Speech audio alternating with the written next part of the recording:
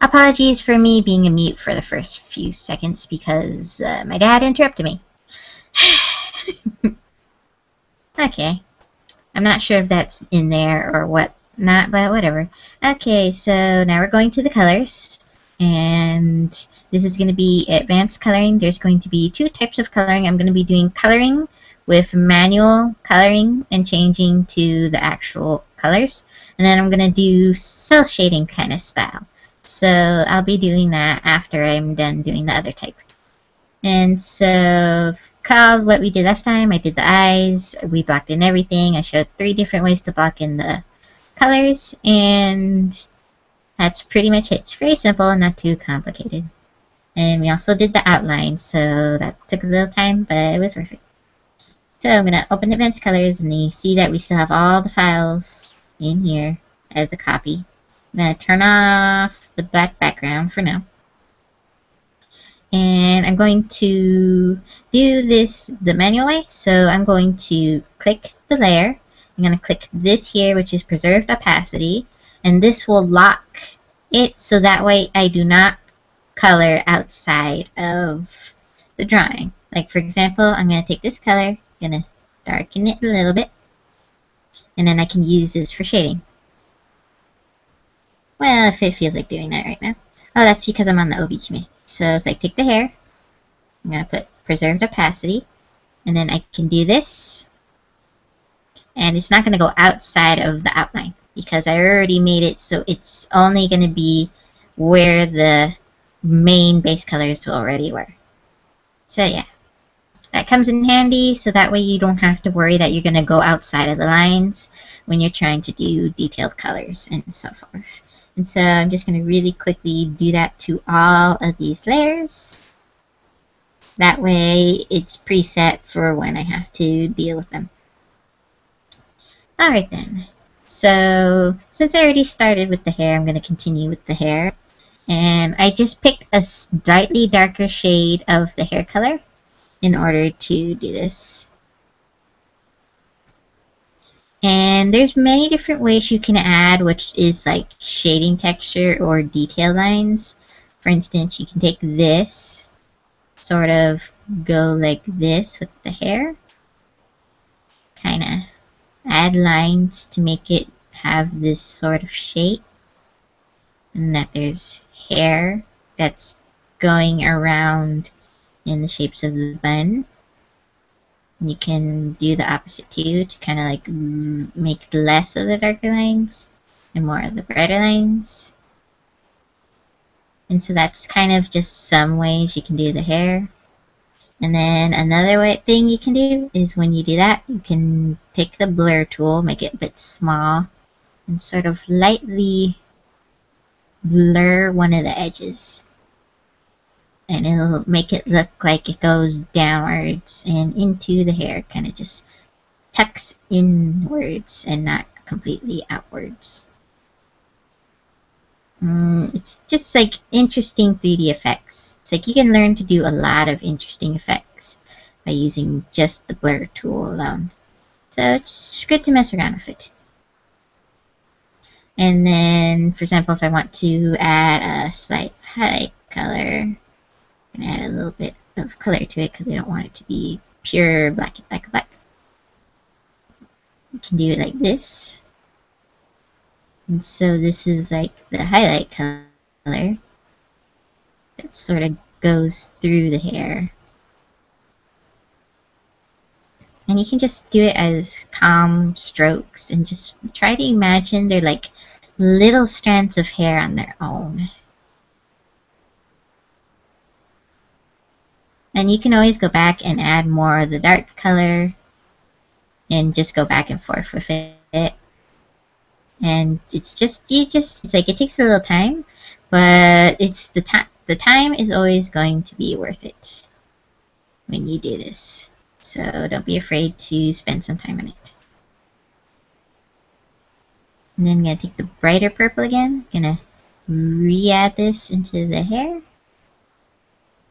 And sort of just keep shaping this little bun here.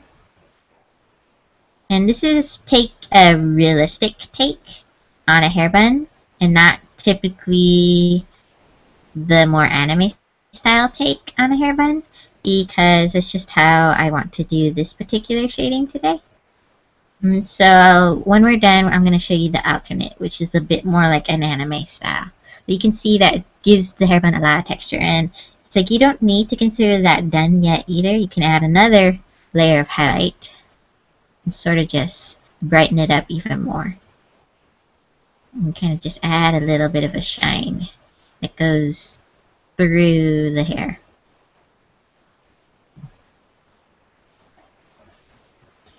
And to go to the deepest amount of shine you could probably do is of course going to be a really, really bright color, like this. But you want less of it so you can turn the opacity down and sort of just make it the little center finish color. And it's not perfect because I'm not really the type of perfectionist person. But you can see it kind of gets the shape and colors you want it to do with it. Of course, you can always go back and redarken anything and just keep going back and forth until you're pretty much satisfied with it. And for me, this is about good enough to be satisfied. So, yeah. So that's one take on doing the hair buttons. And then you can do the same on the other side, which again, it'll take a little time of going back and forth. But yeah, so if you want to add this extra type of depth, then it's worth taking that extra time to do it. And so this time, since the hair is the other way, you gotta curve it so that it's going in this direction. And remember that since this is a different angle, a lot of the dark areas is going to be around here. And then the brighter areas is going to be out here. But since I made it kind of like so the shine is coming like this, you're going to have a little bit of shine going in this direction. So I'm going to re-add some of these lines and sort of make it so that the dark is on the bottom, more towards the hair than on the top.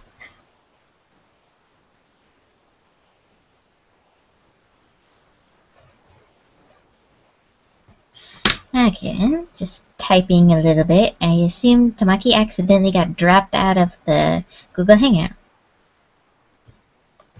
Didn't notice that, but that's alright. We can we'll get her back in a minute since that kind of thing, technical issues happen.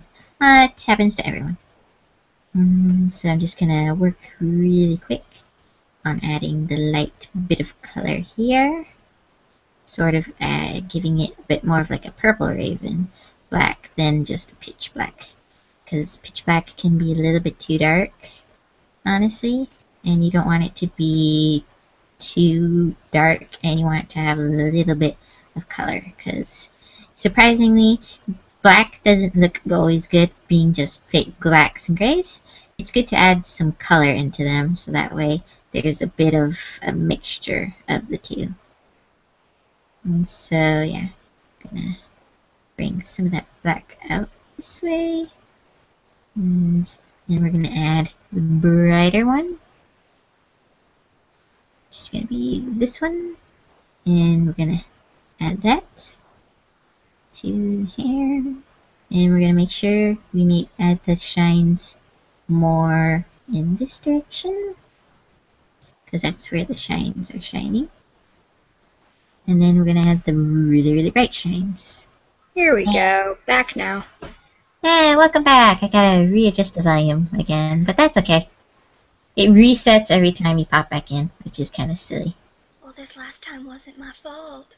yeah, it wasn't your fault. That's okay. It was AT&T U-verse's fault. yeah, eh, pretty much. So yeah, I'm doing a different type of hair texture. Like it's not exactly anime style. It's kind of a bit more on borderline realistic, but it's like I'm just showing that there's different ways you can do hair. Oh, and so I'm kind of doing the like long type of hairstyle. It's not easy to do. especially it when takes you're a a lot of beginner like I was when I tried doing that. Yeah, it takes a bit of time, so you gotta be comfortable with it. And so to me, it's like this one's gonna be the fancy coloring, and then I'm gonna do afterwards, like I said, a different alternate take on the coloring, so that it's a bit more simplified. Because like to me, this is gonna be like the one I would post on DeviantArt as like a gift art.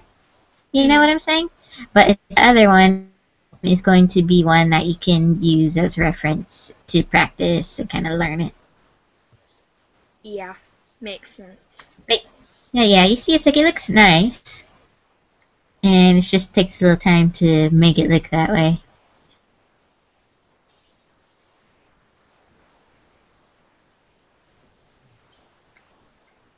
Yeah, not easy.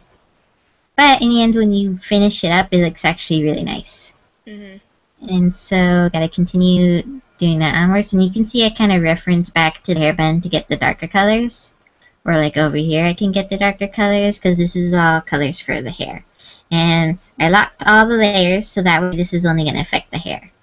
So it's not going to like go into anything else or mess up anything. Um, so yeah.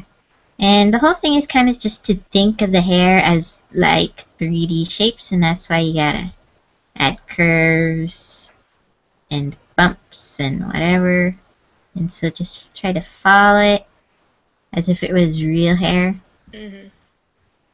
You know, it's not exactly real hair, it's kind of like you're trying to imagine it as if it was real hair. And so that's how you're going to add the lines. And again, it's like I like to do the dark lines first because I'm a bit backwards. And then you can add lighter lines as you kind of get more into shaping the hair.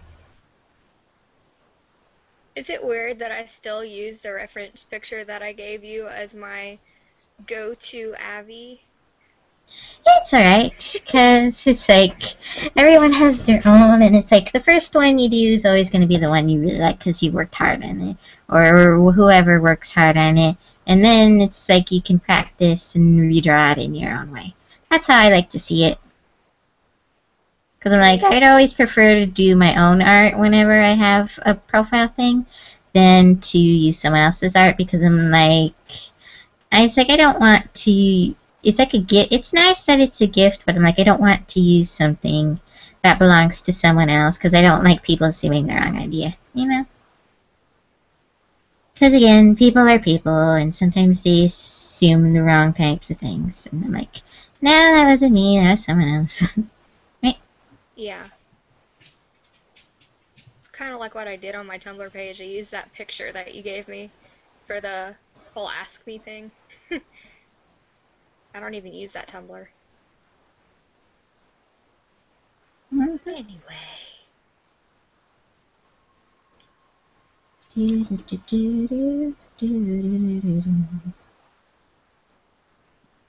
You can see it's like it takes a lot of time because you're trying to do individual strands.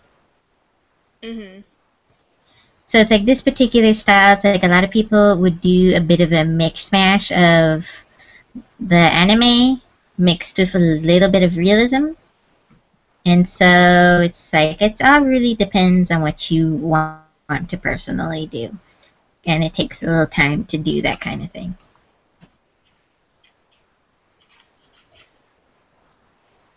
Like the individual strands, not piece of cake, far from a piece of cake.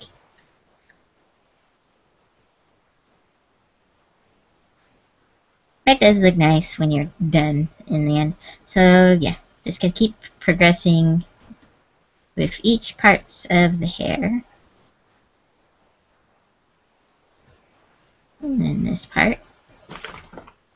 Sort of like quick, very small, quick dashes. And then you'd have the hair going like this.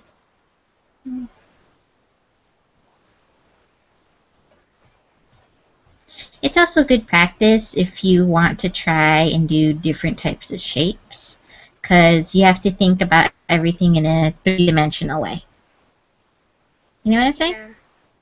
I keep forgetting that my camera is turned off because I keep doing head movements. Eh, it's okay.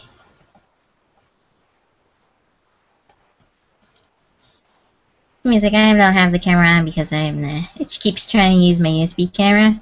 And, I mean my laptop camera and I'm like, nope, there's tape on that. you dumb machine. That's not gonna work. Whenever I see videos like this, I keep thinking thinking of Domics. Hey, yeah. He's my favorite YouTube animator. He's a Yeah, makes is really cool. Everyone has their own different kind of things, and to me, it's like, nah, I can't treat everyone the same. Okay, he has different types of humor, and everyone else has different types of humor. Now, I'm not gonna say he's a jerk because he makes one particular video, and some people can't help certain things.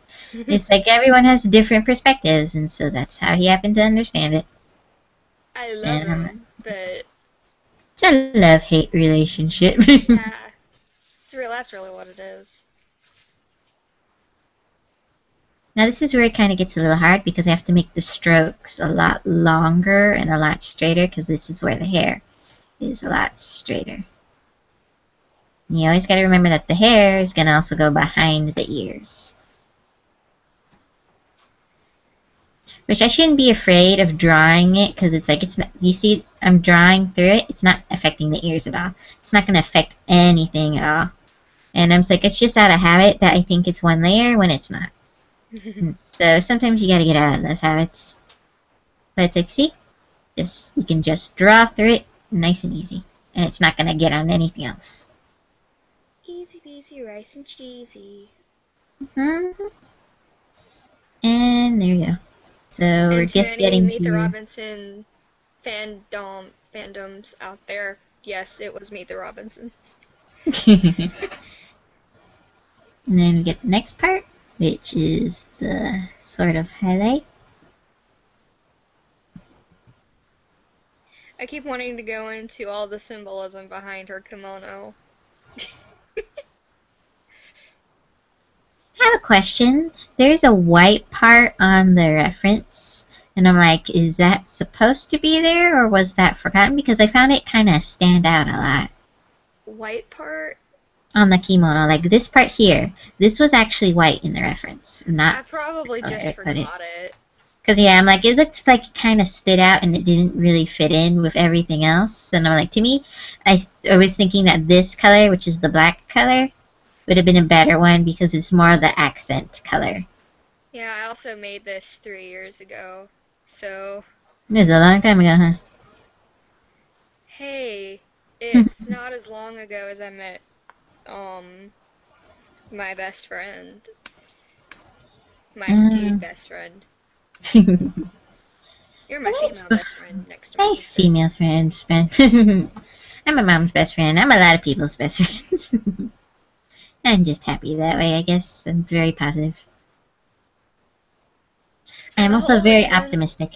And the whole reason why in the reference you see those white bits going into her hair is because in her realm, in that particular portion, mist tends to invade your personal space and Mm, distort what you actually look like. So that's why that's there. Ah, very interesting. Well, here it's like it's not gonna really be white sort of hair, but it's just gonna be like highlights hmm and kind of layers of different texture. I actually like what you're doing with it. I never really thought her hair is purple, and then I look back at it and it makes more sense than anything else. hmm It's like you gotta learn that even black hair, when you're drawing it, it has a bit of color in it. Any sort of hair type has a bit of color in it. Like if you see anime hair, anyone that has black hair normally actually has raven blue hair. Or a Example? tinged purple hair. Yep. So it's like it's not black black, it's actually a colored black. So and the same things as with whites. It's not going to be a pure white. White actually, when you cut shade it and everything, it has a lot of color in it. Fifty And so- Shades of Grey. it. but yeah, so it's like like if you ever see anyone do landscapes of snow, you see that there's lots of blues, purples, sometimes pinks, sometimes yellows. There's a mm-hmm. lot of color. So yeah, it's like snow isn't just white; it's also colorful.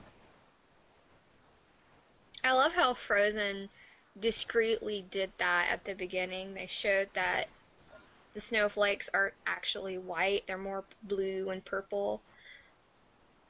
But our eyes get overloaded by the color, so it comes off as white. Oh, that's an interesting take on it. I like that idea. To me, if you actually look at actual, like, zoomed in pictures of snowflakes, it's like a rainbow. Beautiful mess. it's a rainbow. It's a rainbow symmetrical, just beautiful thing.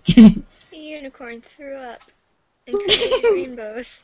I'm sorry, that was rather gross of me to say. it's alright. and everyone's thinking Tomiki is so weird. I'm crazy and giggly. I'm a derp that's giggly and very happy almost all the time and extremely hyper and talks a lot. It's not Vic Mignogna, it's Vic McDerpaderp. He's a derp. Todd Haberkorn, it's Todd Happercorn. Yep. ah, oh, my eye. Ah. this is what glasses does to you sometimes. It's just like your eyes just go against you. Yeah. To me, this way though is like it's a very long way to do hair. It's very time consuming. Agreed. Oh my gosh! Oh, oh! I'm tearing up. My eye just doesn't want to agree with me right now. Ugh. It's just like, nope. I'm gonna tear up and sting you. Oh, the brain overload! Well, if I could actually manipulate your screen for you, I would. I keep thinking that I can, and I go to draw, and I think, nope, nope, not my screen. It's because it's full screen mode and everything, so it's like you get to see the whole thing. I need to actually redarken it because I put way too much highlight.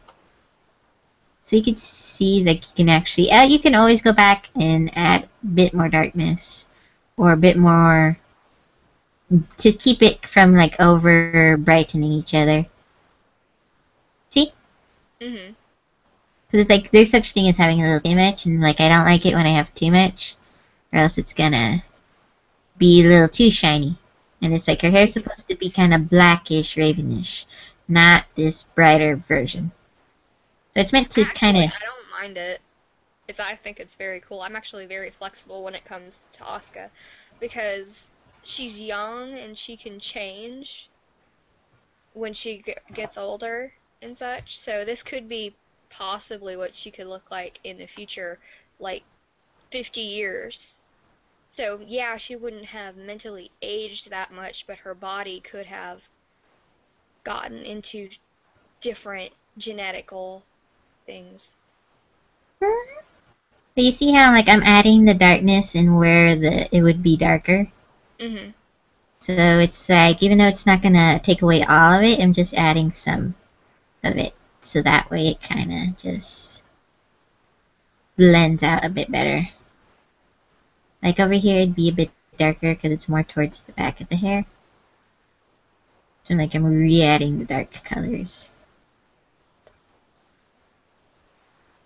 It's like so, it's also where the hairband is. So it's like the hairband is gonna put a little bit of shade and darkness on it. Yeah. There you go, but see? So it actually looks pretty decent. I haven't done this in a while, personally, so it's like it's also me revisiting a style I haven't used in some time. It's cool. But yeah, it's a lot of overlapping layers. There's nothing wrong with that. Yep. And then, see, just turn it on and off. Uh, It's always nice. And so I'm going to go to the next part, which is actually going to be the small pieces. Because it's a lot faster to do the, all the little small parts than going straight to the big parts. So I'm going to take the Obijime, going to add a little bit of color. going to actually change this to be a bit more of orange darker tone. Because I don't want it to be like green or whatever. Because it's like the current theme is kind of the warm colors. And because it's warm colors, I want it to stay as warmer colors. So it's like I don't want to add like blues or too much greens except for where she has like green eyes. That's about it. Yeah, It's the 'cause reason why she that's- green eyes is because her mom Oh, has green eyes. I think I mentioned that in the last video, but I can't remember. Yeah, so yeah. It's like I want to keep certain themes together because it's like since this theme is mostly she has a lot of warm colors, I'm going to keep it that way so that way it sort of flows a bit better. I also want to add that she wasn't always a warm person. She used to be rather sadistic.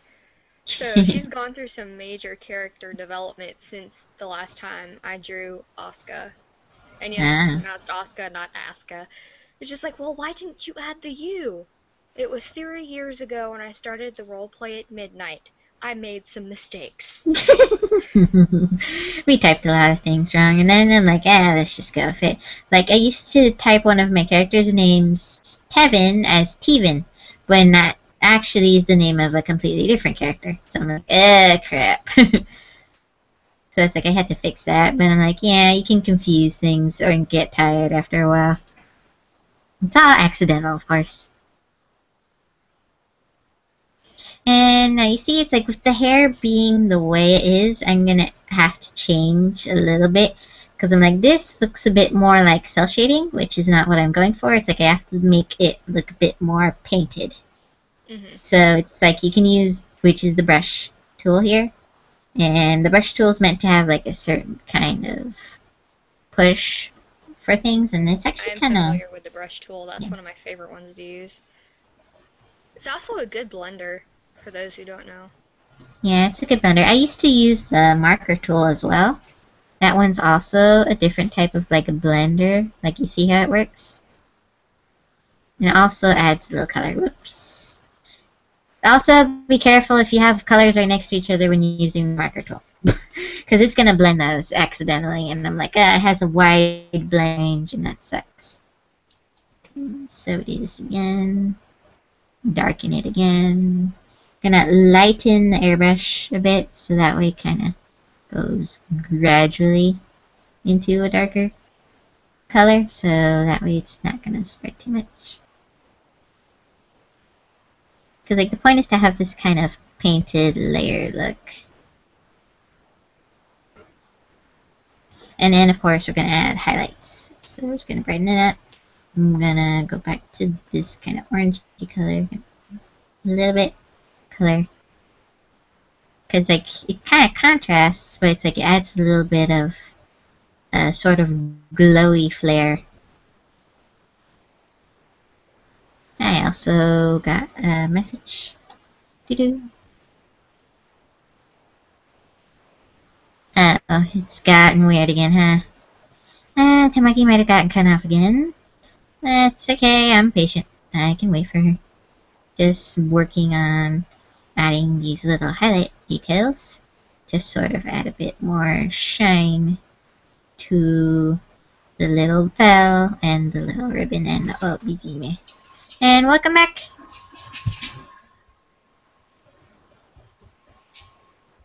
Oh, it's showing a webcam now. it's acting up, so yeah. It's kind of freaking out. It's like there's two of you. And yeah. Ooh, whoops, my camera came back on. My bad. It's okay. So yeah, you're gonna be popped in for a little bit. Oops. Oh well, anyone who doesn't know what kind of shirt I was wearing, it's a shirt I got from elementary school. And it's very hot in my house, so my hair's up. okay. I'm not Yeah. traditionally beautiful. Eh. So yeah, I'm just adding a little bit of a highlight color for the bow, and it's kind of I'm just kind of adding it a little bit messily. It's so that way it kind of has a bit of a shimmer shine. Makes sense to me. So that way it's like the bow kind of has a bit more of a glamour look than it's just being pure black. So it's like everything, every little things like this, it's like even if it looks a little messy, it's like it adds a lot to how it looks. Also, to those watching, Don't be afraid to take risks. There's always the undo button. Yep, that's the beauty of digital art. you have the undo button as your best friend, and it's like a, it's like a have fun experimenting, try things out, see what happens, and that's how you learn a lot of cool tricks. And those who have who do traditional art, invest in a light box. It will become your best friend. But that's a story for another day. Yeah, Lightbox is really great, and technically, when I was doing the sketches earlier, I was basically emulating a Lightbox, but digitally. It's just by changing the opacity so I could trace over it the outline layer. Okay, so here's some tips about if you're doing any gold-ish colored things. It's going to be whites, there's going to be browns, there's going to be tans, and there's going to be yellows. This guy actually has a lot of inner colors in it when you're doing gold anything. I was actually personally very surprised when I learned about this. I'm like, ah, there's a ton of colors in here. And so it's like you gotta get really into the colors. I see all those pixels and it makes me want to watch Wreck It Ralph. yeah, even if they're just tiny pixels, it's like they actually are a lot in these tiny pixels. And so you see I'm adding a brown right now. hmm And this brown is to help because it's a golder, it's a golden color. And so I'm going to add another, a little bit more brown. And remember, if you want to keep the brown from like not turning into like a red brown, you have to move this here, which is like the saturation of what makes it Mhm. gray or dull or whatever.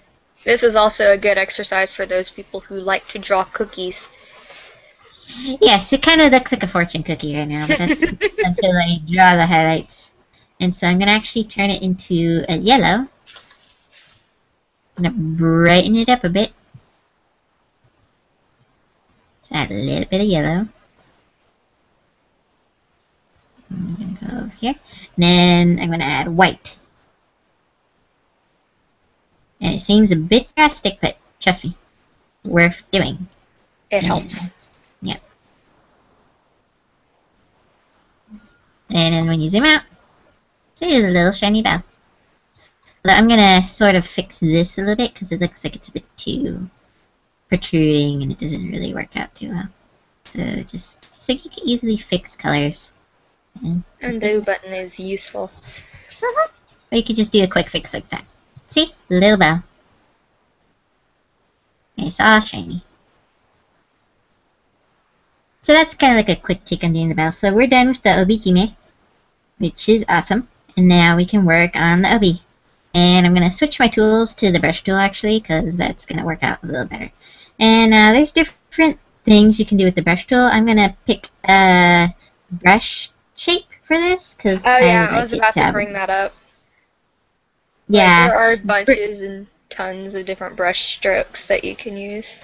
hmm It's like I was just using basics for certain things, and I'm like, that's kind of my default. And I'm like, you can always go down here to pick other things. Like, I'm gonna go with bristle, bristle, or and I might switch to a flat in a little bit. That always confused me. Airbrush and bristle. How can you do that? It's an airbrush. It doesn't have bristles. Yeah, this is the airbrush. Of course, it's airbrush, and then this is the brush tool. So it's meant to be more for if you have patterns and brush patterns, etc. So I'm gonna Also, take the add a um, little red, darken the red. And the thing is, is that it's going to be a bit light, so it's like if you want to really make it noticeable, you gotta darken it a lot and sort of just brush and smooth this out. And if, you have like anything like this, which is the little texture shapes for the obi I made earlier, you gotta also remember that these are gonna have a little bit of depth to them so you can brush a bit of texture and sort of just darken a bit and brighten them and darken them and just keep doing this repeatedly. It's a lot of repetitive stuff. But you see that it's worth doing these kind of shapes. And so this is where I'm like a bit more painting styled. And I'm normally not a painter. I'm kind of far from doing painting style. But it's like, it's again, different things you try out and learn how to do and have fun with it. And also people who do traditional art and do paintings and stuff. You can do Or it digitally. Awesome. It's just learning that you don't have to have as much control over your stylus as you have to have the control over your paintbrush. That's something Yeah. I learned. when you that's why I respect any traditional artist because a traditional artist has the most steadiest hands ever. It's like for a digital artist, you can be a little bit more carefree because of course you can fix things and whatnot. But it's like when it comes to traditional art, it's like a lot more work, a whole lot more work. And also note that I'm making it really dark where the obijime is because it's gonna make a shadow. hmm It's pressing against it, so it's going to make a bit of a shadow. And again, I'm going to darken it again. And it looks really dark, but it's because it's I'm going to be adding it very lightly. And then when I pass over it again, it keeps getting darker and darker. It's kind of like actual brushing. It's like you got to do a lot of passes over it before it gets really dark. Also, um, some artists think that at this point, when you've done the outline, done the base color, and you've gone to shadowing, it's not okay to add in extra details. It is okay to change your outline. Yes, you can change the outline. Like I've learned to actually add color to my outlines sometimes because it actually looks a lot nicer when you add a bit of color to them. It kind of blends better with them. And so don't be afraid to change things. It's like it's not going to be everything shouldn't be just in the line. Drawing and it's like you can break outside of the lines and paint over because actually a lot of professional work which looks very beautiful they paint over the outlines. I bet you anything a lot of them paint over the outlines. And so yeah. Break out of doing the outlines like that and then like i'm just keeping in it so that way it stays nice and clean and neat but it's like you can always go outside of it it's not a problem That's why the saying is color outside the lines. yep I keep getting afraid that I'm talking too loud. It's okay. It's gonna it goes back and forth a little bit, but it's really fine. And for me, it's like you can see when it switches from me to you. So it's like that's when whenever you see that it switches to you, then it's focusing on you, basically. it's also kind of a little reminder of what the original one looks like compared to yours. yeah. So it's like you get to see progression, changes, and differences. And so I'm gonna add one more kind of dark layer because I'm like I just want it to look a bit more pop out because it's like it takes a lot of layers to make it kind of pop out between what's the shaded part and what's the bright part. It's like I before when I back way back then when I was a lot more novice with my digital art, I used to make everything a bit too soft and you can't really tell the difference between what was shaded and what was normal. And yeah. So it's like you gotta sometimes make it a bit more obvious that this is the shaded part and this mm-hmm. is not the shaded part. And for any of those with Vulcan hearing and hear the scratching in the background, that is my kitten Ellie. She is scratching up against a box, and so that's fine. yep, that's the kitty. Adorable. Yeah, the one that was mewing in the first video. Oh yeah. The attention hog. the attention kitty. I didn't even know that was a kitty. I didn't notice right away. I'm very slow. I'm like, I thought that was a person. Nope, it was a kitty. Well, I make real, realistic cat noises. That didn't come out right. I make meows too. That happens. Anyways, it's, I don't want to get into that or else I'll be Raider Beast. So now I'm adding a highlight, which it's very soft at the moment. And you can see that it's adding a little bit of a light satin shine. This is kind of what's, it's actually kind of like semi-satin actually, because there's different types of fabric looks, and so this is kind of like semi-satin where it has a little bit of a light shine to it, but it's not like overwhelmingly shiny. Satin is when it's really, really shiny. Also, the difference between a yukata and a kimono are they're not drastically different, but they're folded in differently. They're also made out of different material. And yukatas are generally worn in the summer and are meant for swimming. Huh. I did not know that. You learn many things every day. And for any of those who may see this and start raging in the comments that I'm wrong, do the research first. yes, research before commenting, please. I do not approve of any comments that is said without knowledge unless you are asking an honest question. I'm not into anything that's like you know better, and I'm like, no, everyone has different opinions. I believe that everyone has their own opinions, and everything I say is my own opinion. Also, another note, um when you're highlighting and shading, don't be afraid to color over the base coat. It's still there. People will be able to see it. Just because you paint over it doesn't mean it just disappears and you think you that you just wasted your time. Uh-huh. It's still there, don't worry. You see, it's like I may be painting it over it right now, and so you see it's a solid thing, but it's not I don't have a copy. In fact, I have a complete duplicate in another file. So, trust me, if I mess anything up, I can always go back and get it. Also, no, also something else. Save your work periodically. Yes, I still have that bad habit, is that I do not do that. Never trust your programs sometimes. You should save very frequently, and if you have a shortcut, use a shortcut to save. Like for me, it's Control S, and it saves. I think Thank that's with everyone. I think that's the default Control S. Yeah, so I don't do that often though, so I'm like, I should do that. But see, Control S, and there we go. It's just saved.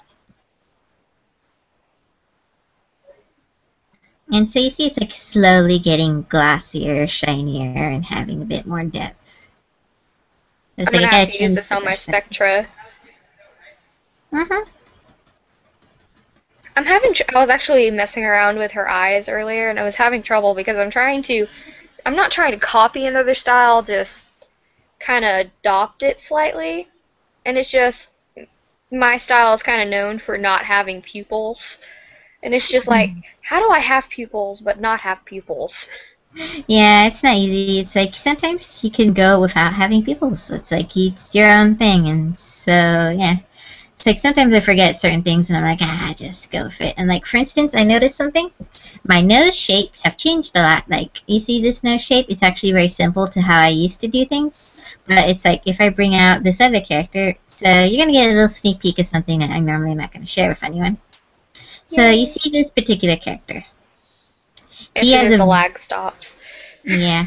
There we go. So this particular character, you see he looks v- completely different from what I'm drawing right now. What I'm drawing is more simplistic anime. This is my retake on anime style by changing some things to have some small pieces and references to realistic style, but not completely. So yeah, my style has changed a lot since I originally used to do it. And I'm so sure this I'm is my own take on anime, but it's not a traditional simplistic anime. I'm sure I'm not the only one thinking this, but what is up with his ear? He's not technically one of the good characters. It's a bit of a spoiler. He's going to be one of those more of the bad guy, antagonistic, slightly characters.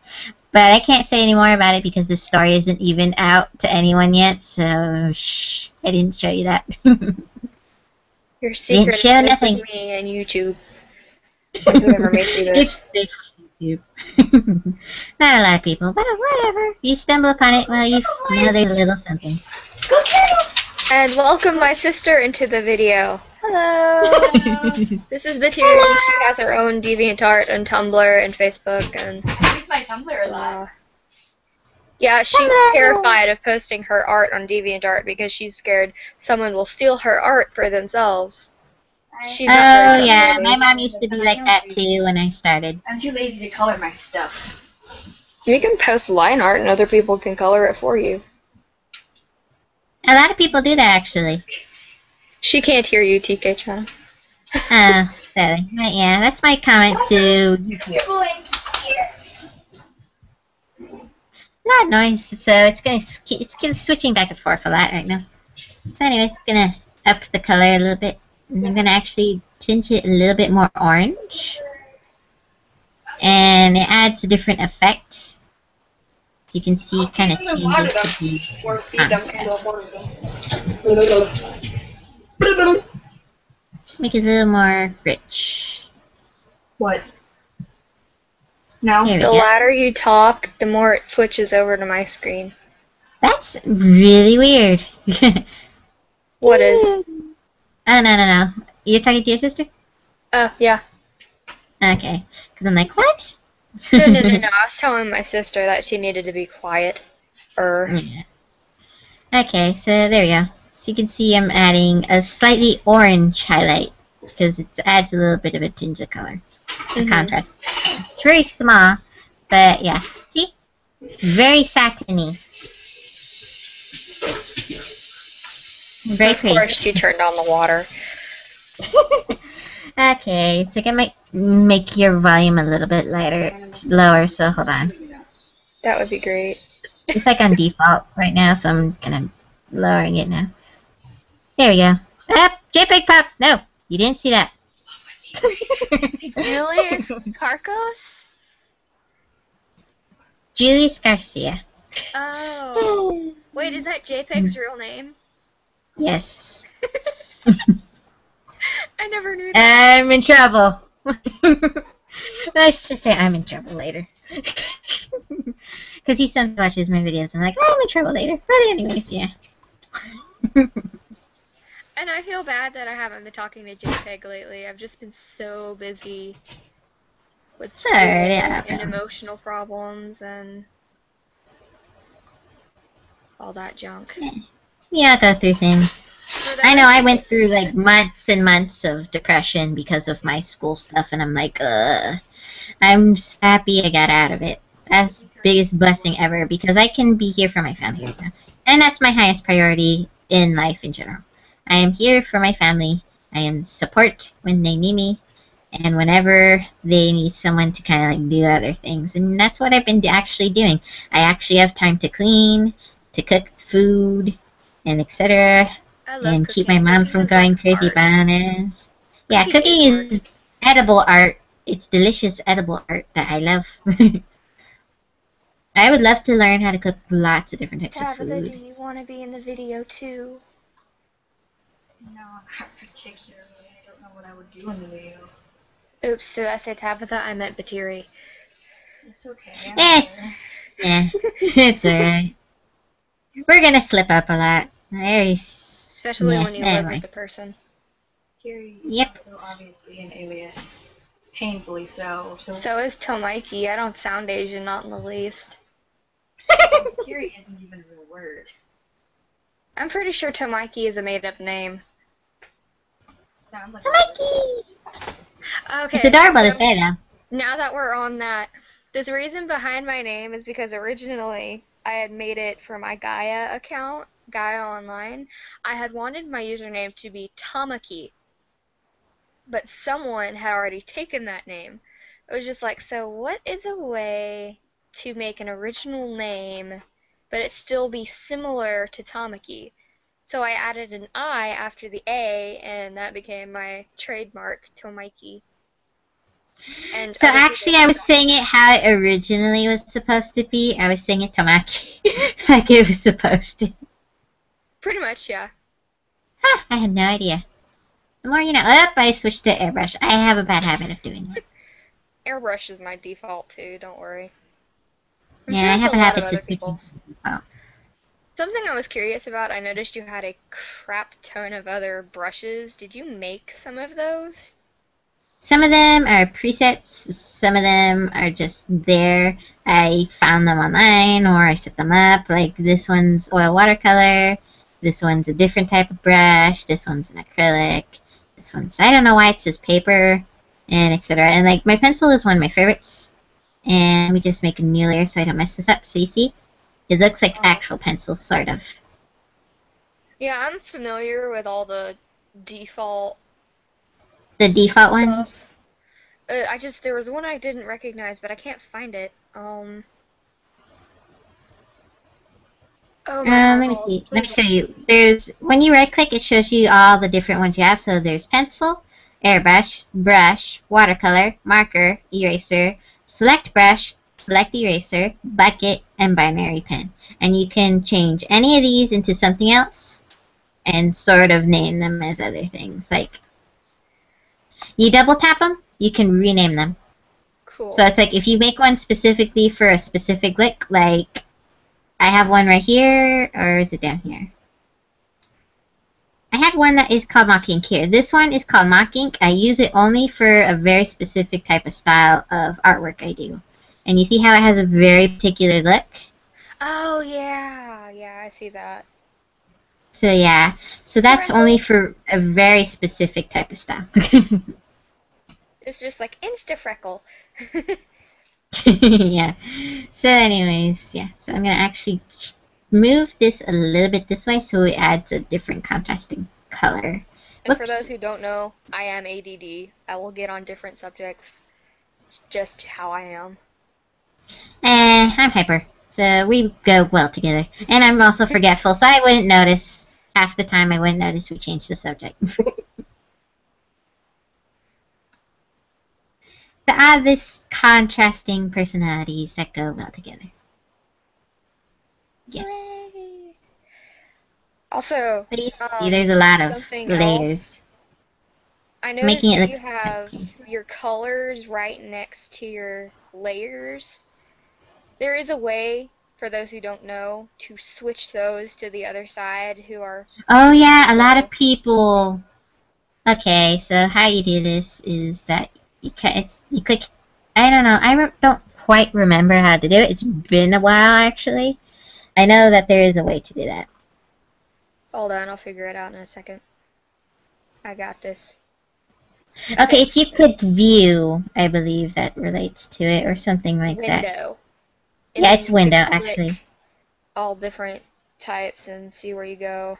Yeah, it's like show layout planner to the right, so it's gonna move it this way. Click window, and she put color tool to the right, and now everything's inverted for me, which personally that sucks. and so you can put to the left, and there you go. You have one on each side, and you can have the character in the center. And that's actually how I have it. Mm-hmm. And so this side side's your colors and brushes and everything, and over here is your layers. But to me, I like everything having to lens to the left side because I used to have a habit that I actually would do. I'd do basically something like this. So let me undo that, and I'd do this. I'd put it to the side here, and then I'd put someone's chat over here, and then I would actually draw while I have a chat open over here. And so that's why I have it like this, because that way I can have this actually is in the center for me. There's a chat over here, and then all my tools are over here. So that's why it's go back to like this that. for me. That's how it is for me, because I happen to chat sometimes when I'm drawing. Whoops. Nope, don't do that. Sometimes, more like all the time, darling. To-do. Now I'm adding light highlight later, and you see that it takes a lot of strokes for a painted style because you're gonna do layer by layer by layer by layer by layer to add all the shines and everything. But it does look nice. But So always know that do it's like worth the the time. simplistic look. It is okay to go in with a light shading. You don't have to go into extreme detail like this. Like I am doing. Yeah, I'll be showing that alternative kind of look in a bit. Because I'm like, I know people would like the easier route, and like, this is just how I feel like doing it right now. It's not the way that you would normally do it, but I'm like, this is just how I feel like doing it right now. I feel like a nice painted style in contrast to all this other stuff I've been doing. Because I'm like, I haven't actually been doing shadings. Like, some of them I haven't been doing shading. Like, the one I showed as an example, it's like I haven't been doing shading for that one yet, or any other one, so I'm like, I need to shade some things. Yeah. And it bothers me sometimes if I leave something unshaded, but it's like because they have to move on to another artwork. So at least it's colored. To me, I'm happy that at least it is colored, but it's still not finished, technically. And brighten it up some more. And do another layer. And to me, this also makes it look very soft in the shading, is because you're doing slow gradient changes in color while still keeping this sort of painted look.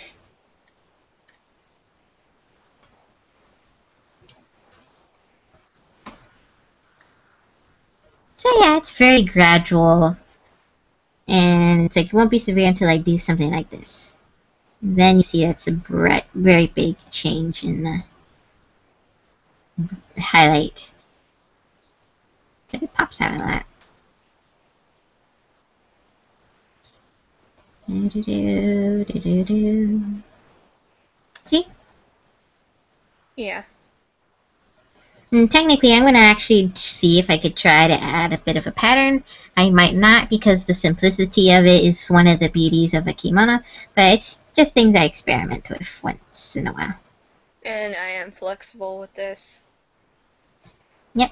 So yeah, one of the best things you can do for an artist, by the way, which this goes for any artist, is that try not to be overly picky and go outside of any artist's style.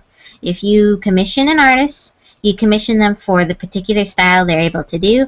Don't ask for something out of like it must exactly look like this anime or whatnot unless they're able to do that or they're okay with it. Because otherwise it's really takes out the fun and creativity away from the artist and it makes doing the commission more of a chore than actually something they can enjoy.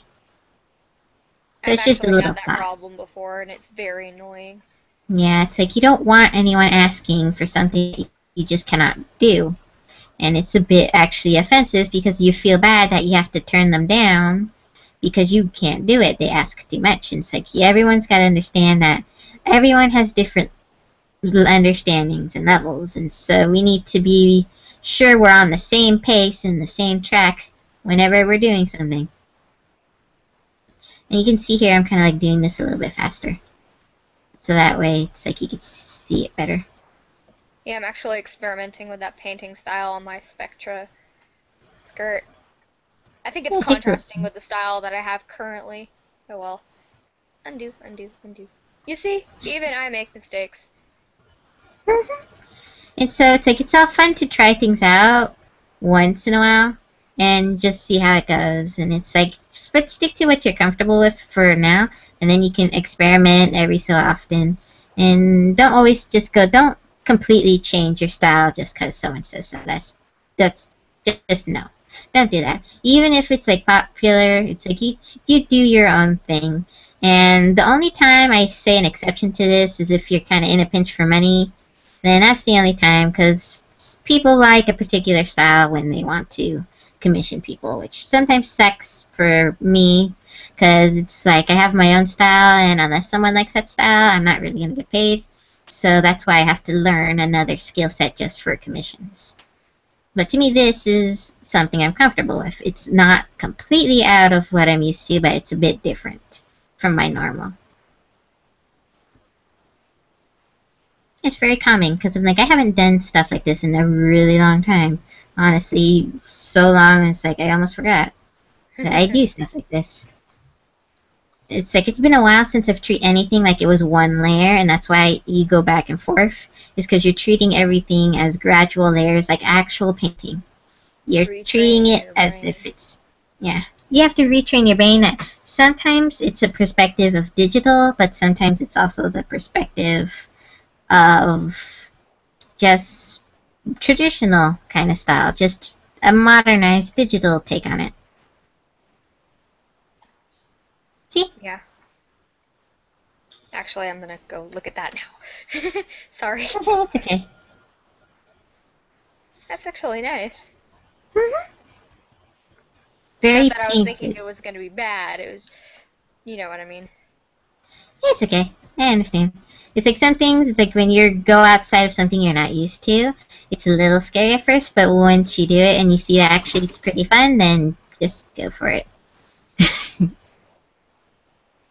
um, so now I'm going to do the same over here, and it's again, it's like you start very lightly, and now, the, if even though it's digital, understand that your pen has pressure sensitivity. It will know if you're pressing really hard like this. if you get the correct type of SAI. However, if you download the crappy people's Yeah. Stuff, uh, I I don't even know how to describe it. It's like they got lazy with the free downloads and stuff, and they didn't include the pressure sensitivity in the SAI. That sucks. So This actually, is that the happened SAI to that- is a very special type of SAI that is made to be English, and it also has the ability to do PNG transparency. Yeah, it's a I very particular type. that. So yeah, I can share you the link for that in a bit. Cause the you have to normally ask the guy on DeviantArt to do that, but I saved the note that he sent it to me, so that way I could reference it for later if I need it or if I lose it. And so it's also what I you did is that I also send it to JPEG because he wanted to have it, but I'm like I don't want to hassle the guy and message him again, so I'm like I'll just use the note he sent me before, and it just links to the same thing. So it's like I'll let you have it later, and it's a nice take on site, and it's very helpful. Mm, actually, I need to make that darker, darker. And it's like here's where you got to be a little careful, because you see that I am slightly going over this. So it's like this is where you got to be a little bit more tender with your back and forth shading and darkening and whatnot. And I'm sure all the like- traditional artists out there are cringing for you. Yeah, it's like when you go over something, it sucks. When you're a traditional artist, mess up something, and it's a very sad day. but Like, another thing is that traditional artists learn the technique of improvising. When you mess up, you can find a workaway around it. That's what I see a lot of professionals do.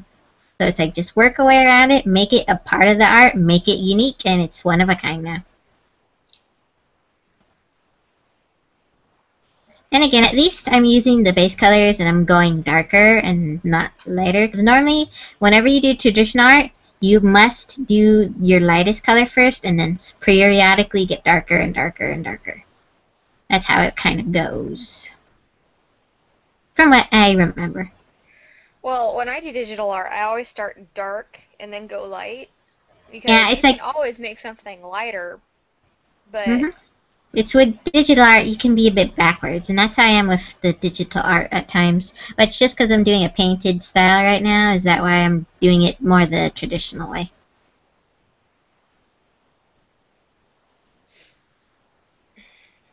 But yeah, I'm normally pretty backwards. It's like I always do my shading first, and then I do my highlights. Because then I can see where the shines are, and where I want it to be bright, and where I don't want it to be bright, and etc. Makes my life easier.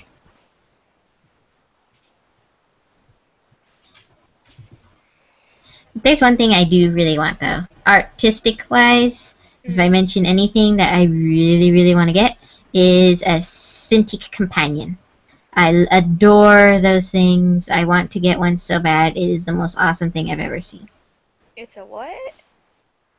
A Cintiq companion is one of those screen tablets. They're a screen type drawing tablet, but they also are the companion type is to go. You can take it with you anywhere, kind of like a computer. And so it's a to go professional drawing tablet with cameras and all this other stuff.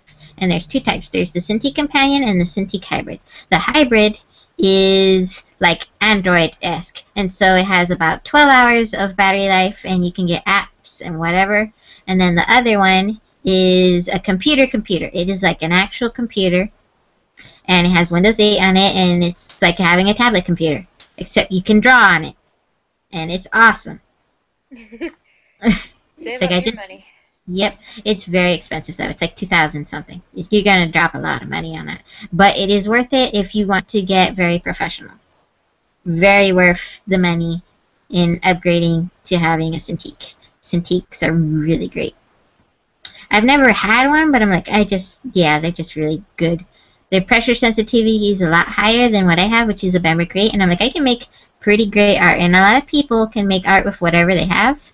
But it's like once you kind of want to do it in a very professional graphic design profession, then it's like you do have to upgrade some of your art and you have to learn new tools of trade. Like, eventually, I may not be a fan fan of it. I will have to learn how to use Photoshop and stuff. It's not my thing, but you gotta sort of go and change with what's common in workplaces, and it's easier to just switch to something that you know you can use any workplace because a lot of places provide it, then be very selective to one thing, and it's going to be a bit costly for them to switch to that.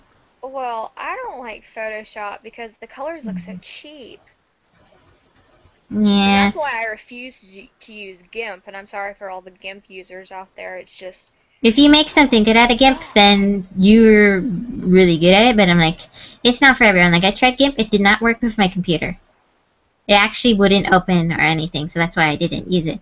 But I'm like, everyone has their own way of- of doing it, and I'm like, if you learn how to use this program and it works for you, that is great for you. But it just didn't work for me.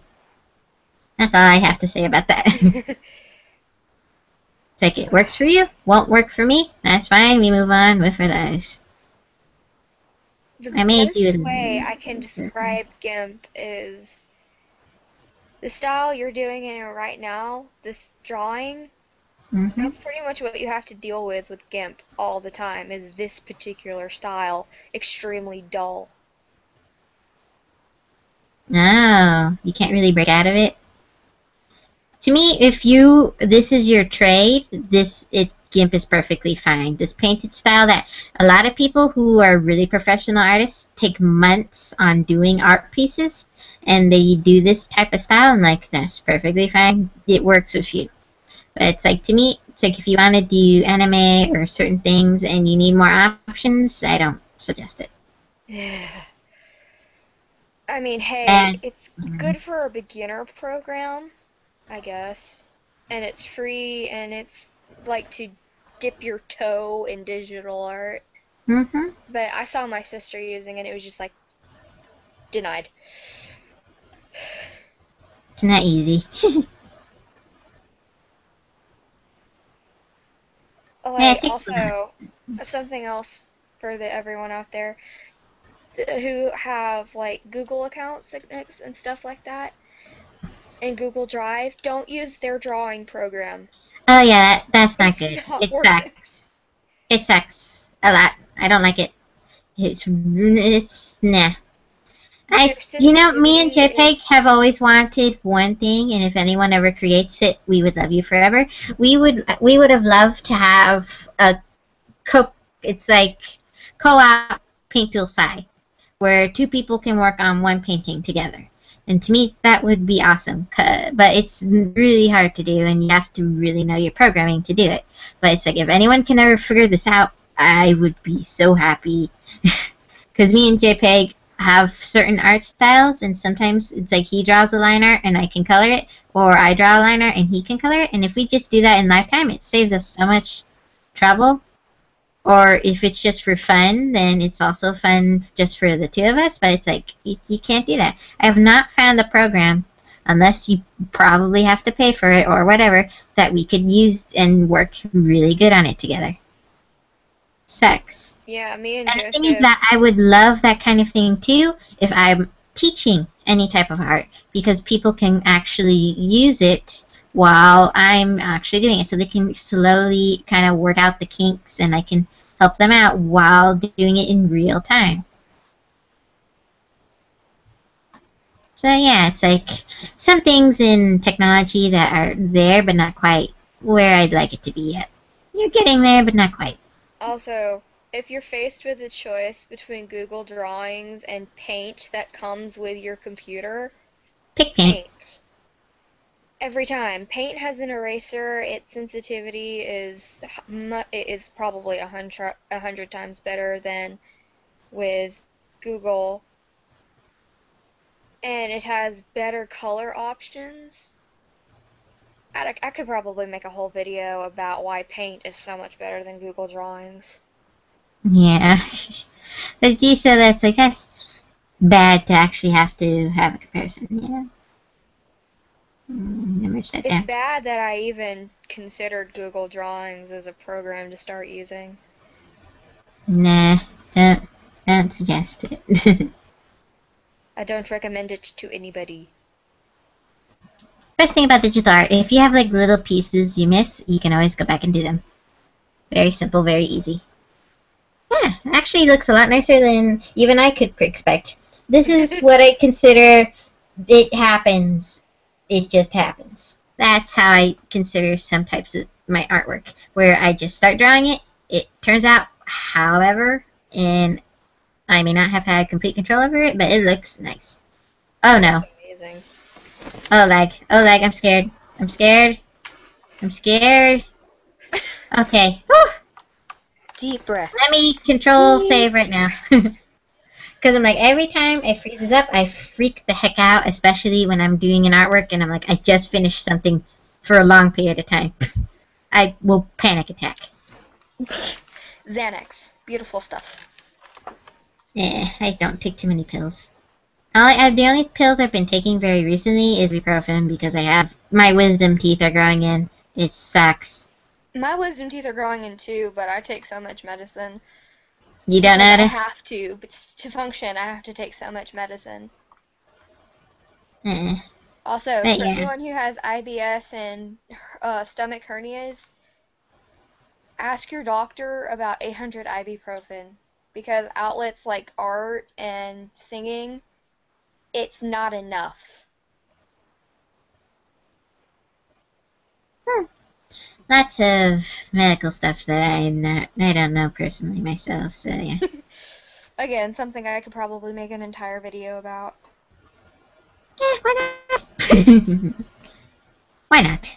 The internet is filled with things already. Why not add a little more?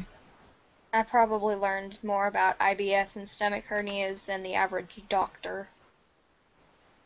I know Mm. probably more than my GI doctor does about my conditions, which is sad. Interesting. Yeah, that's true. I find it very sad whenever that I know more than the professional. That makes me a little bit sad and it makes me a bit concerned. So, yeah.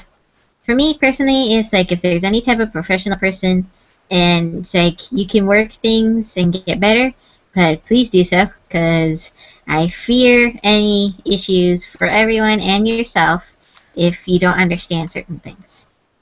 That's just from speaking from some recent events that happened. And I'm like, Ugh, what the heck? Yeah, I hold no shame in talking about my conditions. It's just, hey, I have nothing to hide. They might as well know. I'm kind of gently smoothing it out right now. Yeah. Smooth it out. But I don't want to use the blend tool because if you use the blend tool, it's going to get very smoothed. This is what will happen if I use the blend tool. Everything's going to smooth down like this. You could always uh, tone down the dilution, and that could help. Yeah, it's but it's like if I mess up my blend tool too much, then I'm like, oh no. Uh, let's see. Ah, no, that's not what I wanted. That's not what I wanted at all. Yeah. But it's like you can use it very lightly, like in certain areas it's not too bad, but you can be very gentle with it. See? It's like it's a bit softening, and it's like you don't want to use it too much, because the point is to keep that painted look. You don't want it to get too soft.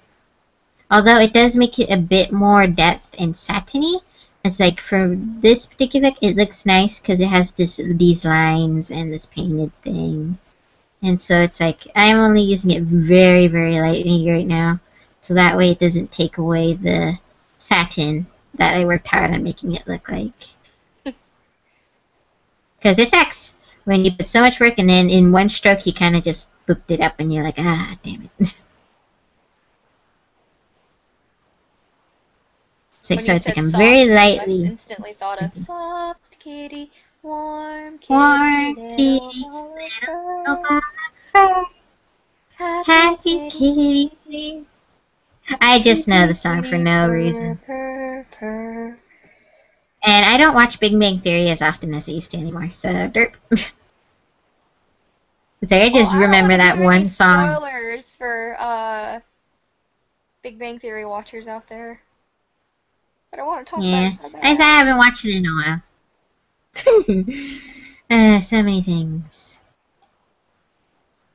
Just uh, I wish I want a, I want a YouTube channel that is Crash Course fandoms. It's like an mm-hmm. episode that's a crash course to every fandom. Doctor Who fandom, crash course, mm-hmm. anything. so you learn what's it about, and you will understand what people are talking about. like I know. It's kind of like you know the For Dummies book series, but it's like yeah, crash course, please. I know this is 'Cause gonna not everyone knows every fandom. there, but I don't know what Homestuck is. All I know is that there are trolls and that it's a huge. Uh, Oh. Homestuck. I know what that is. Yes, it is a huge fandom. And I do know what Homestuck is.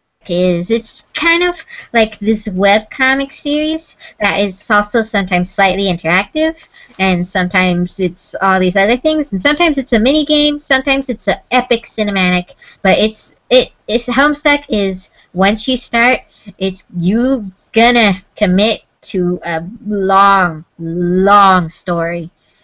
Whew, it's a really long story, and actually, I'm gonna show you this YouTuber that is my greatest catch up to learning Homestuck because it makes it entertaining to watch. Because it's there is tons of dialogue. There's tons and text of text, and if you're not into reading a lot of text, you can get very bored. So this is the best alternative to get into it without getting extremely bored because other people are reading the text for you. So it's like you're getting into the story without actually having to read it. It's great. I love this channel. I just gotta bring it up real quick. So yeah, I love how when I'm not here, you stay all focused on the drawing, but boom, one session with me, we're talking about home stuff. yeah. It's just I like to give people options for things, and other. I think it's in the other insights. It's called Collab HQ, and these people are made Homestuck stuff. And well, there's a few random little things. The series is called Let's Read Homestucks. It all the parts and all the acts, and it's a bit slow once you get caught up. It is a little bit slow because it takes them a while because they have like tons and tons of people that collaborate to voice act these things. But yeah, so this is the channel. I'm gonna bring it over here. This is Collab HQ, and so you can just search Collab HQ on YouTube and go click playlists, and they got Read Paranatural. They got Let's Read Homework Act this, Act this, and Act whatever. And so just click this, or you could click the Let's Read Homestuck in general, and it'll go through the entire Homestuck thing.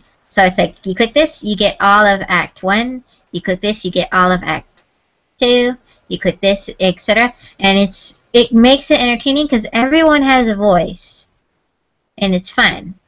And it's like it just makes it a lot entertaining to because again, it's like it's a really long thing to go through all the text at first, and it's a bit challenging. But when you get past the challenge, it's very entertaining. But this is for people who want to get introduced to it a little bit faster. Then this is a great alternative. Yeah, I need to put Thumper in his So, car. yeah. I'll be right back. Okay. But yeah, so that's something if you want to get into a Homestuck stuff without extremely explaining your mind.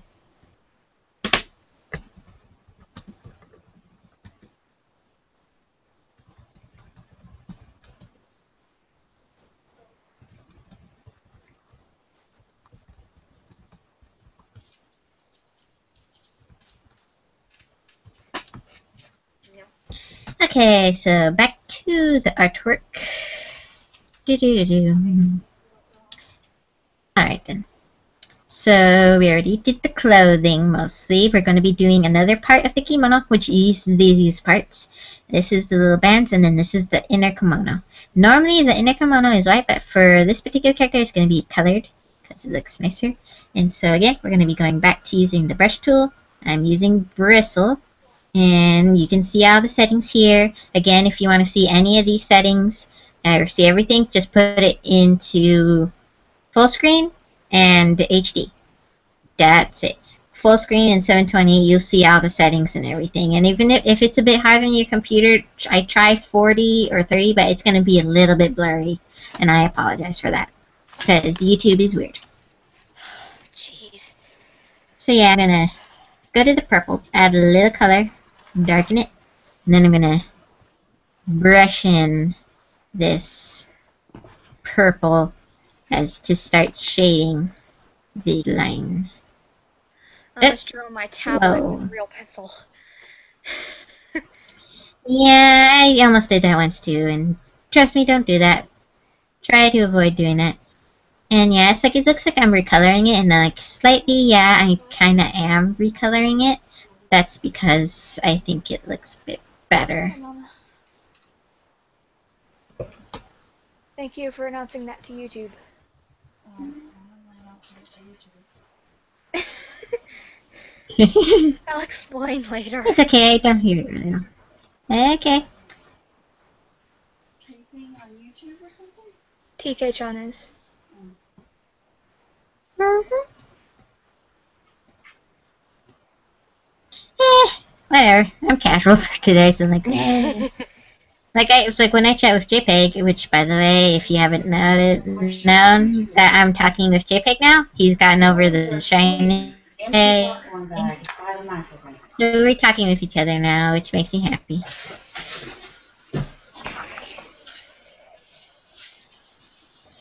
Okay, so I'm going to darken it a little bit more. And it's not easy to continue darkening with this kind of, with anything that's kind of represents black, it's a bit hard. It's a bit of noise on Tamaki's end. I might have to lower the volume again. Sorry. Mommy alright. is in a clutter mood. It happens. This is sometimes why I don't like brush, where I substitute for airbrush, is when it's trying to blend the freaking colors. That is the only time I get grumpy. The only time I get really grumpy is when it tries to blend like the pink here. Also announced to YouTube. What? Also announced to YouTube. Okay. I'm just gonna mute Crazy. myself until my mom is done cleaning or whatever she's doing. Okay. so yeah, apologies for that. And it's, I don't consider it a big problem, but yeah, whatever. Family things happen.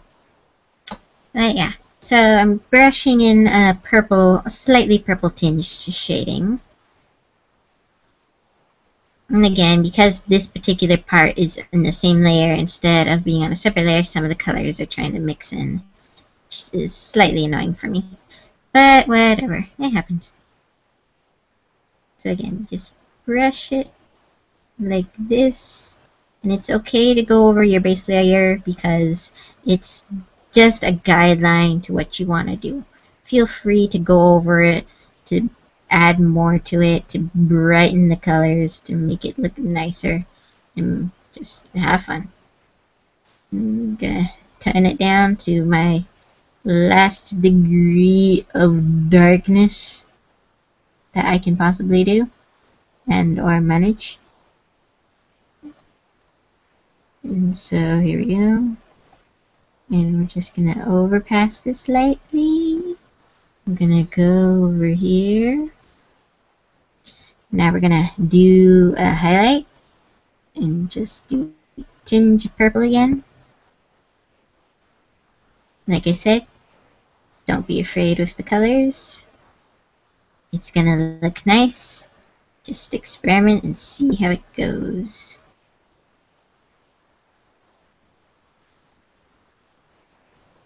Whole point is to have fun and try something new.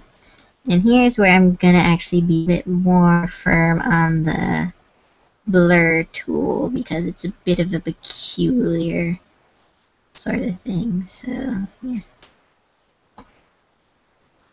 A little more smooth out, and I still need to add a bit more highlight to this. So yeah, a little bit more highlight,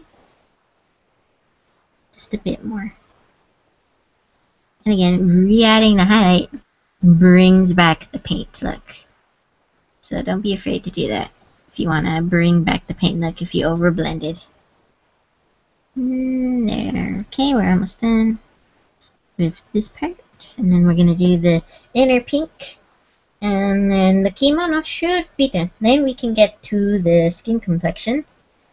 And this character should be basically nearing the end of the thing. The last thing would be possibly doing a background, but that currently is kind of optional right now. The main thing I was trying to teach here is doing the character. That was my main goal for this, mostly the entire thing. So yeah. And so now we're doing the darker pink. And keeping with this, we're just really lighting it up pink. I'm not sure if I want to even do a highlight. Gonna see how that goes, and that actually looks just like it. So we're gonna brighten it even more. And sort of just slightly pass on the edge. There we go. Very, very lightly done. I'm gonna do it one more time with a brighter. Yeah, so it's very lightly adding this satin again.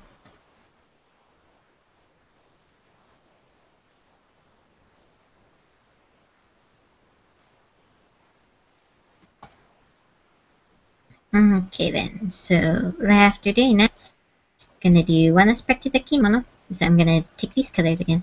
I'm gonna darken this area down here because this is the inner part of the kimono. The inner part of the kimono is actually a different color to the outside part. So it's actually like a double-sided. It's a double-sided work.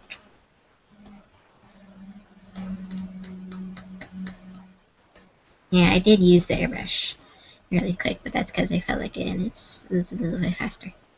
And you can do the same over here, but this is actually a detail piece. So I can actually go here,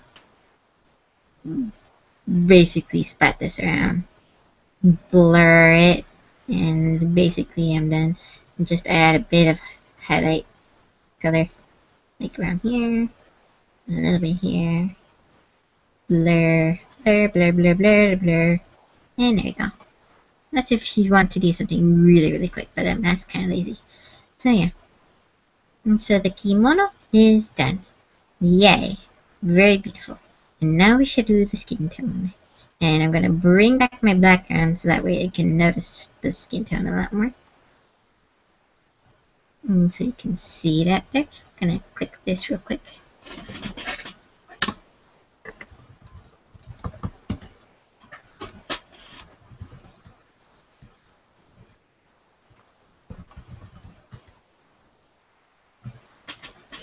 I might end up doing this part and I shall explain shell shading tomorrow.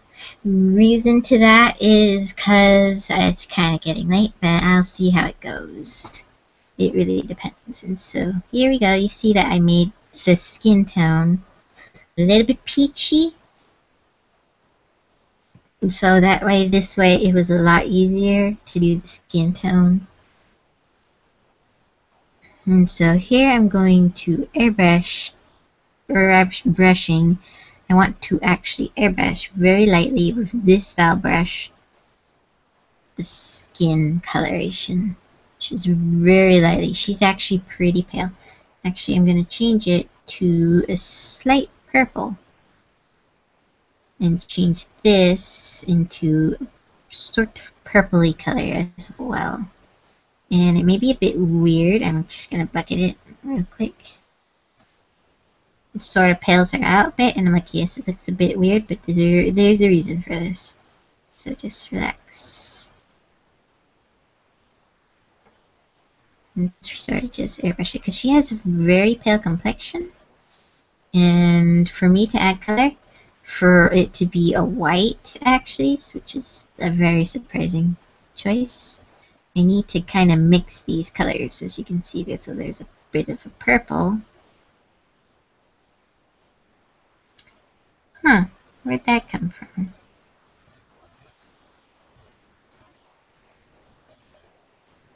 Trying to figure out where that come from.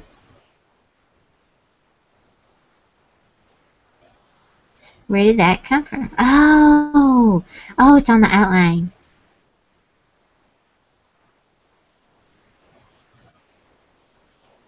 That mucked me up. Okay, so yeah, you just saw me tab through bunch of layers. So anyways, yes. There you go, I fixed that. Whoa, don't want to do that. So airbrush purple here, gonna airbrush a bit of the purple here, and I'm gonna get make it lightly colorful, like with the makeups and how the makeups kind of are, while also still adding a bit of blush color.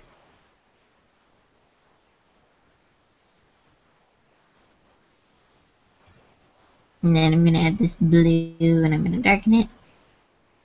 It's darker. And so it's going to be a little bit of a contrast. And we do that there. And it may look a bit weird right now, and you're like probably unsure what the heck I am doing. But trust me, when you play with colors a lot, it works. So do this here, do this here, and we're gonna blur a little bit. I'm gonna very gently blur this together.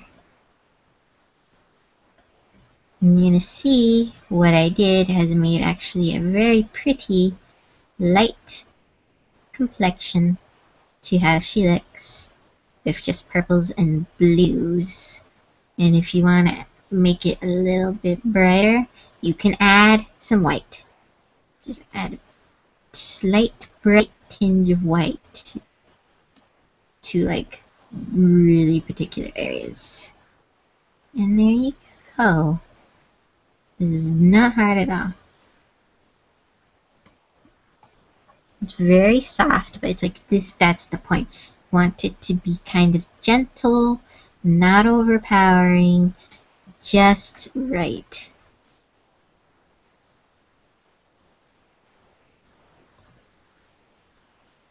I'm gonna fix this a little bit here.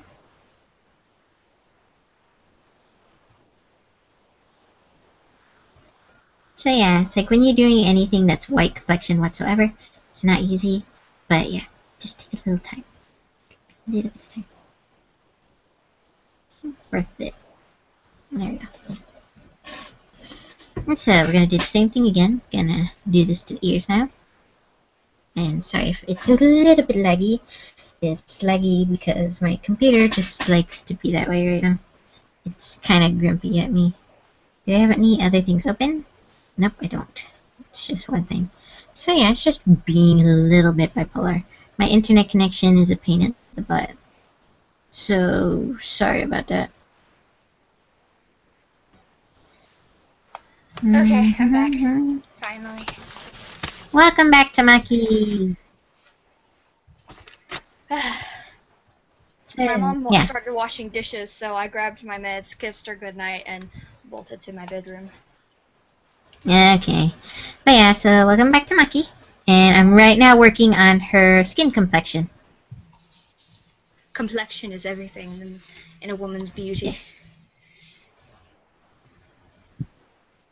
So you can see I'm actually using some small tinge of purples and blues with white for her complexion.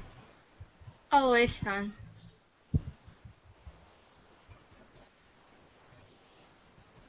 And if you hear blowing in the background, I actually have a fan going in my room. Yeah, it's okay. It happens. And I have to remember one thing. That the hair up here is going to cause a light shadow, a very light shadow on the top here.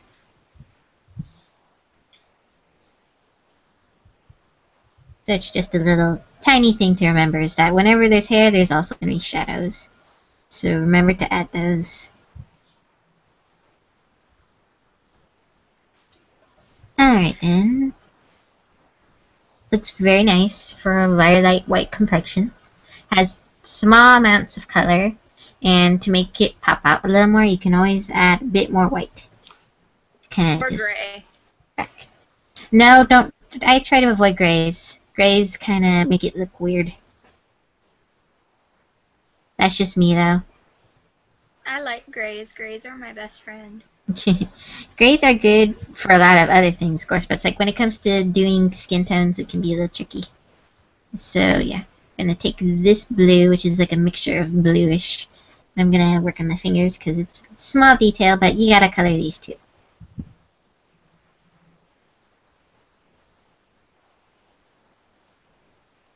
If you think about it, art is the perfect way to lie. Because the saying is lying, the best liar lies within the details. The best art lies within the details. yep. Or lack thereof. Trust me, I take a lot of shortcuts. There's little secrets in art, which when you learn them, it's like, oh, so you can do it this way too. now you see that I'm adding this kind of shade thingy to the fingers. That's because there's a, your fingers are like that. It's like there's another section, and when it's at a particular angle, it's gonna be a bit darker. So yeah. Really quickly did the fingers. And I think she's almost about done. Yay! So I think drawing her would be this complicated, but okay. Yay! that's for this particular type of look. It was really, really complicated. I didn't think she was that complicated. I'm so sorry. That's okay. I actually enjoyed it. And so I'm gonna do a little date stamp for her. Um, so yeah, so that way I'm gonna save this, and I'm gonna keep the background this particular color though, because it actually kind of complements her, and it makes her the. It looks nice for her. So yeah, I'm not gonna do a quite detailed background yet. I might do that tomorrow. I was wondering, actually, if you're going to include her crystal ball because that's the equivalent of a teddy bear for her. Hmm, I could real quick. Okay, a little quick addition, which is gonna go in. Actually, I'll use the background layer for that. And so it's kind of bluish. Actually, it changes color. I, I can make it rainbow? Base. Can I make sure. it rainbow? Yes. Sure. Sweet. her crystal ball is actually connected to her state of mind, so if she's happy-go-lucky, it can actually be rainbow. Sweet. So yeah, right now I'm just doing a quickie version of it. So you gotta do the colors. Block in this giant circle, because it's a crystal ball. It's round. If it's not round, I don't know what you're thinking it is. I think you need to go look up what a crystal ball, ball, B-A-L-L, looks like. If you don't know what a crystal ball is, hey, you said crystal. Yep. Okay. Doing spear shapes, kinda go like this. yeah, I actually And- had to look up a tutorial on this to draw the particular crystal ball, but this person didn't know what they were talking about, so I just, after that, I was just like, screw it, I'm gonna do it all on my own. Takes a little work. Spears are a little bit complicated to draw. There's a lot of smidget work. Smidget work. And so, yeah. Trying to remember how you do it a little bit. Because it's like, it's been a while for me too since I've had to draw. It's like the last time I draw anything spherical that's kind of like a crystal ball was when I did a bubble. And Oh. bubbles are not easy. If you want really nice bubbles, bubbles are actually pretty hard. There are over 2 million hand-drawn bubbles in The Little Mermaid. There's so much work. I give tribute to anyone who does that much work. I volunteer as tribute.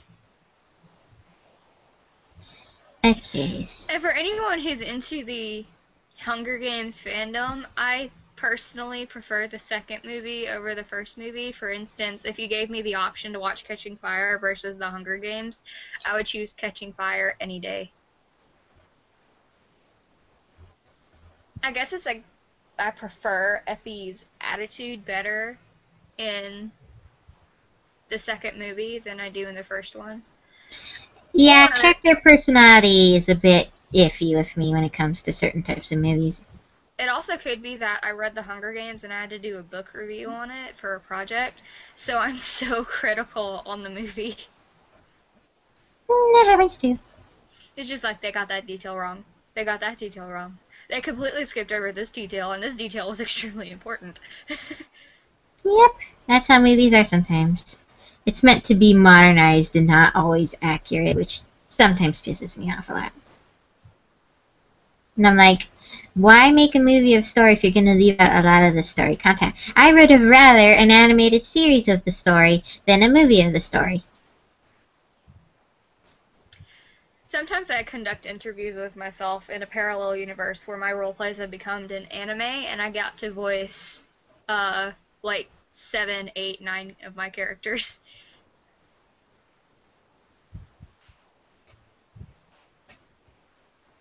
Like, um, I had uh, this one interview with myself where, in this particular universe, um, Miyazaki had decided to make a series of movies out of my role plays with Joseph and I got to voice my characters, which was an amazing feeling, even though it never happened.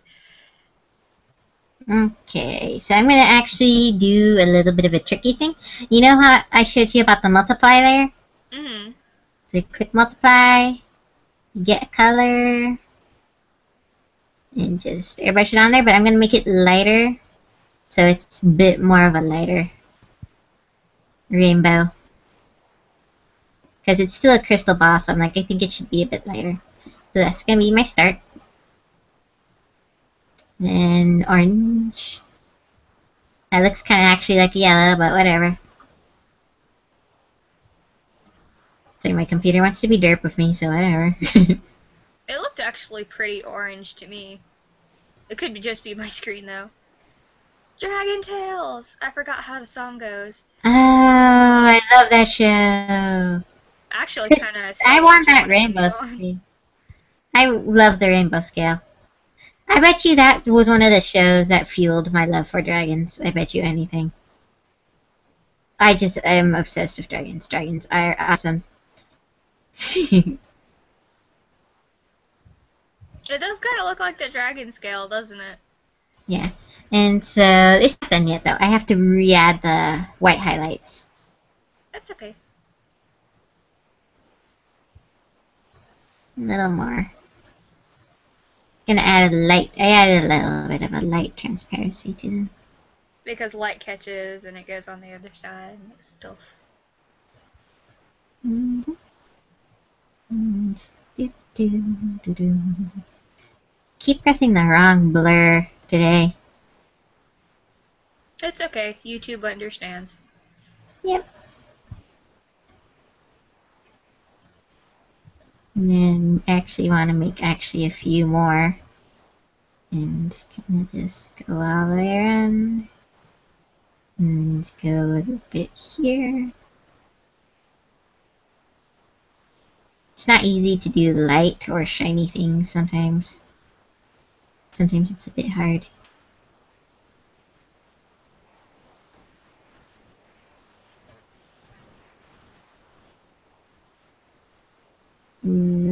Around striking layers. That kind of works. It's like me. I think the outside part needs to be whiter.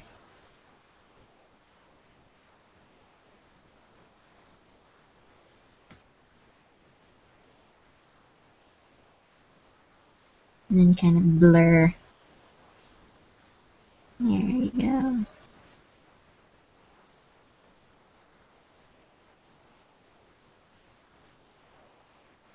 It's kind of a clicky crystal ball, so it's not perfect. It's okay. It's rainbowy. Alright then. So I'm gonna declare this saved for now and tomorrow we'll do cell shading or a kind of it's a mixture of cell shading and soft shading. and it's a lot simpler than this. A hundred times simpler than this. I may add uh, extra detail to this tomorrow too, which is coloring your outlines a little bit, because that adds a little bit of pop. But not right now. So I'm to save this, and I'm going to say goodbye for today. And This is uh, starting to get annoying. it's like my thingy gets overloaded. Oh, well, that sucks. But yeah, so yeah, I was saying that I'm gonna continue the cell shading tomorrow because it's two in the morning in for me, and I need to go to bed soon. Aw, okay. yeah, so tomorrow I shall do the cell shading and maybe add a few little details here and there. I am gonna put my signature in the corner here. I like to put signatures in the corner, but very light signatures, like almost transparent looking. I like kind of hiding it in. It's kind of like The picture? watermark almost. It's just like, ooh, where's Mikey gonna put it next? I'm gonna. The dimmer you do it, the harder it is to see it. So it's like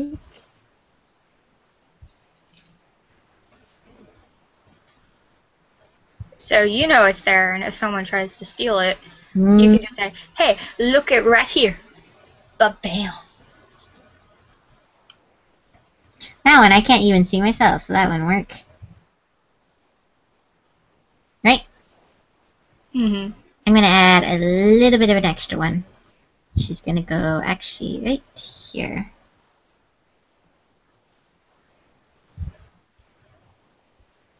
I didn't realize you put them everywhere. I don't normally. I'm kind of lazy with that.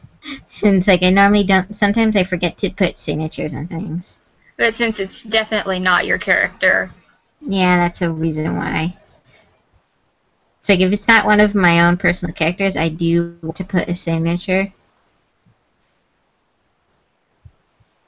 Brighten that a little bit. A little bit more.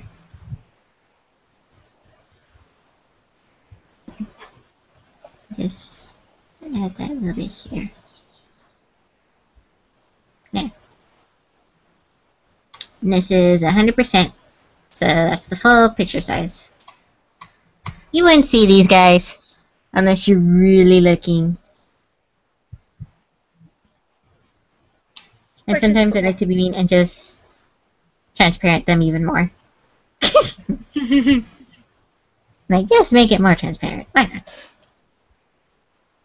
So yeah, I'm gonna save this, and this is it for now. And tomorrow we're gonna be doing a different type of cell shading, which is obviously easier than this. This is our time consuming as heck. And yeah. we'll be back to you later. Yep. So bye.